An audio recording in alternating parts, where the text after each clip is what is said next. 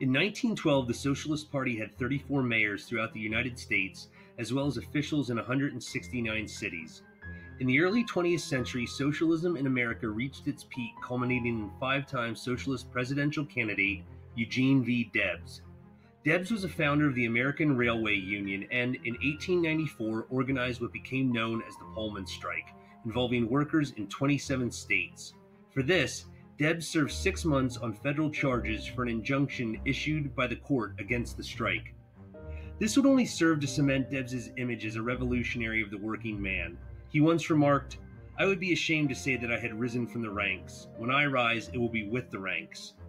President Woodrow Wilson, who in 1916 ran on a platform of staying out of the Great War in Europe, quickly changed his tune when it looked as though Britain and France may lose and thus would be unable to repay the tremendous sums of money lent to them by American businessmen such as Rockefeller, Chase, and Morgan. Wilson called on leading liberal intellectuals, including Edward Bernays, who was Sigmund Freud's nephew and wrote the book Propaganda, to use their understanding of crowd psychology and whip a passive U.S. population into an anti German frenzy in only six months.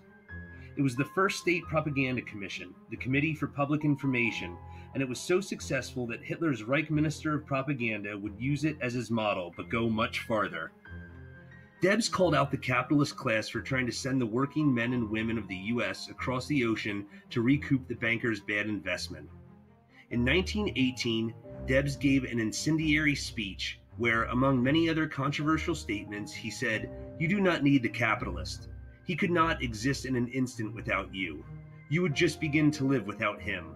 You do everything, and he has everything. And some of you imagine that if not for him, you would have no work. As a matter of fact, he does not employ you at all. You employ him to take from you what you produce, and he faithfully sticks to his task. If you can stand it, he can. And if you do not change this relation, I'm sure he won't. You make the automobile, he rides in it. If it were not for you, he would walk, and if it were not for him, you would ride. Debs was jailed again for this speech under the Sedition Act, which had passed earlier that year because too many people were raising questions about the war but he continued to fight. In 1920, he ran for president from prison as inmate 9653 and was still that popular, even though confined to a prison cell, garnered 3.41% of the popular vote. Eugene V. Debs, arguably the most popular socialist in America and hero to the working men and women of his time, has been written out of most of U.S. history.